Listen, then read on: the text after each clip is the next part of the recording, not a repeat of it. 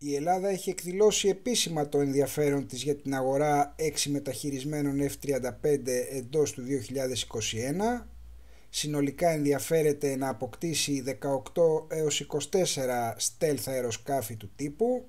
Η συνολική αξία φτάνει στα 5 δισεκατομμύρια ευρώ και η ολοκλήρωση του προγράμματος αναμένεται έως το 2027 εφόσον τελικά προχωρήσει ακούγονται διάφορες φωνές εντός της υπερδύναμης ότι σε περίπτωση που δοθούν τα υπερσύγχρονα stealth μαχητικά. Στην Ελλάδα αυτό μπορεί να οδηγήσει την Τουρκία στην αγορά ρωσικών μαχητικών και έτσι να απομακρυνθεί άγκυρα ακόμα περισσότερο από το ΝΑΤΟ και τις Ηνωμένες Πολιτείες